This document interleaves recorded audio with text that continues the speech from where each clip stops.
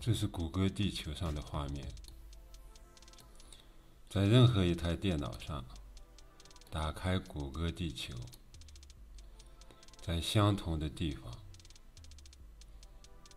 都可以看到这样的画面。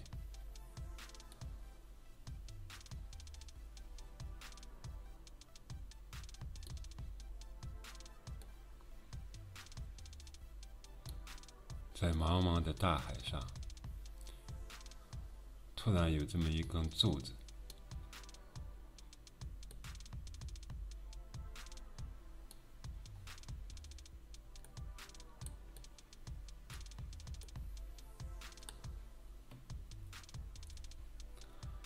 这个视角是在水面的下方，这个是水面，这个是海底。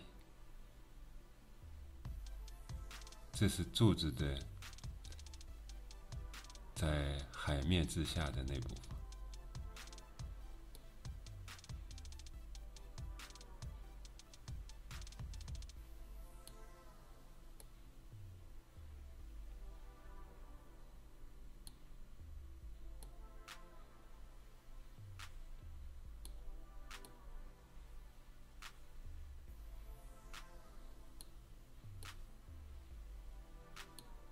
我们现在把这个水面去掉，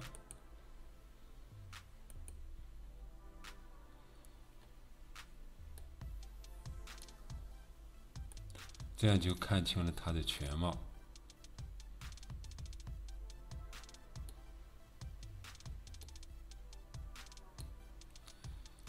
我们现在量一下它的高度。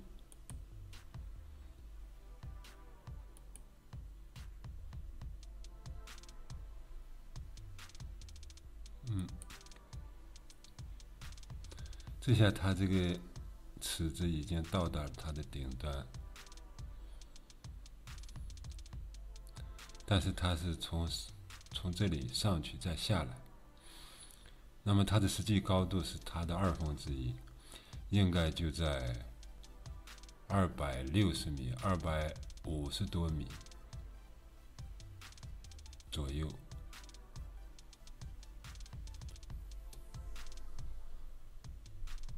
二百五十五十多米呢？我们一般的楼房是不到三米，那么它这个高度就应该说明是差不多有一百层高的楼，这个高度是非常吓人的。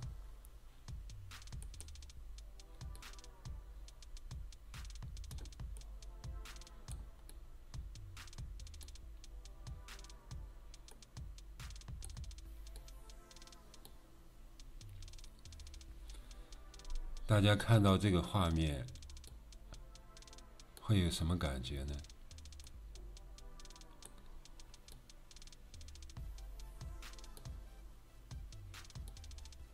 因为在大海的海底突然出来这么一根柱子，当然是让人惊讶。我在看到它的时候，还有那么一点点恐惧。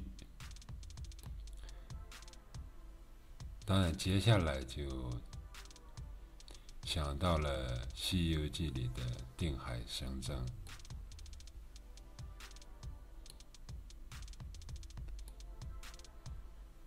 我们都知道，《西游记》里的定海神针是在东海，也是在中国大陆的东海。那么，现在这个地方在哪里呢？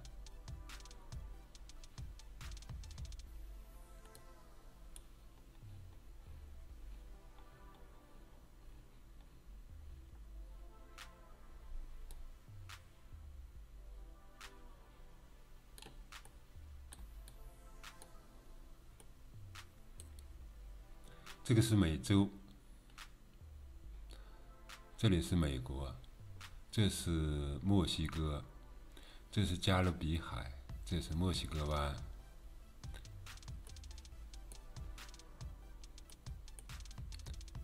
刚才那根柱子就在这里，就在这个地方，南美大陆这一片呢是哥伦比亚，往南边呢是厄瓜多尔、委内瑞拉在这块儿。东海的定海神针怎么跑到这里呢？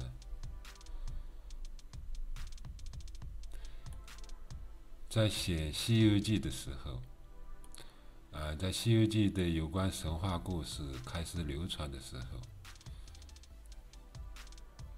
人类根本不知道地球、地大地是一个球状的东西，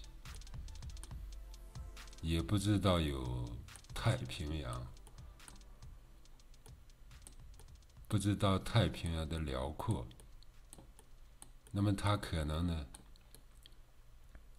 反正这个地方，我东海，东海这个地方和我们刚才的这个地方，它的方位是一致的，全是东方。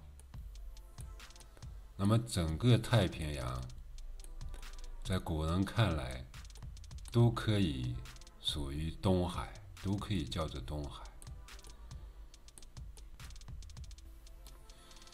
嗯，当然，《西游记》它它是一个文学作品，它还不算是神话。那么，我们假设它所指的东海就是整个太平洋，那么这里出现了金箍棒，出现了定海神针，那么整个的这一片这一片区域。是不是还有什么东西？比如说，东海龙王的龙宫，它这一篇是不是还有什么特别的地方呢？《西游记》是一部神话小说，但是我们现在认真一把。我们就把自己当做一个非常严肃认真的考古工作者。如果这里刚才看到的那根柱子是定海神针的话，那么它的周围还一定有一些非同寻常的地方。我找到了一些，大家一起来看一下。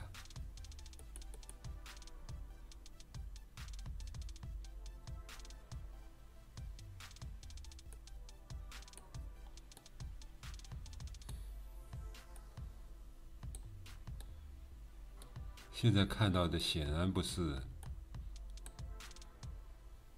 自然形成的。这些笔直的线条看起来是杂乱无章的，但它是怎么形成的呢？我们再看下一个。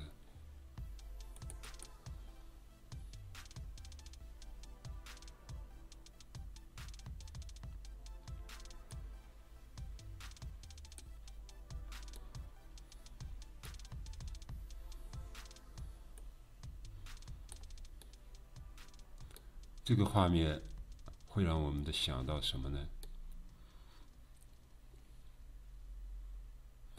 它是不是像一个立交桥？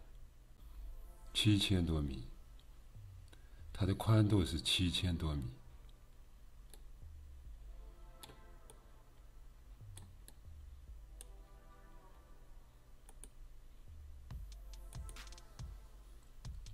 它的长度是。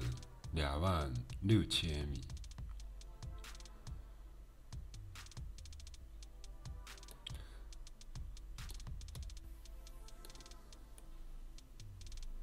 如果它是一个建筑遗迹的话，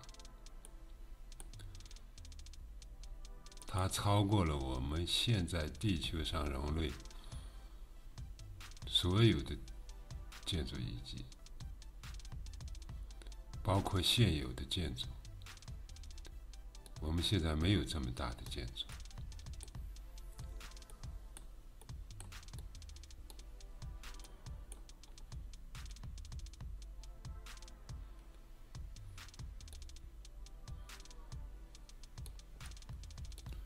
我们再看下一个。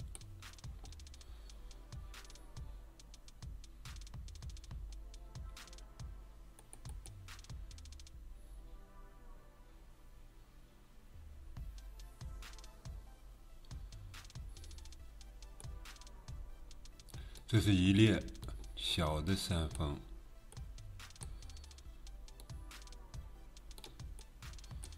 它的数量是五个。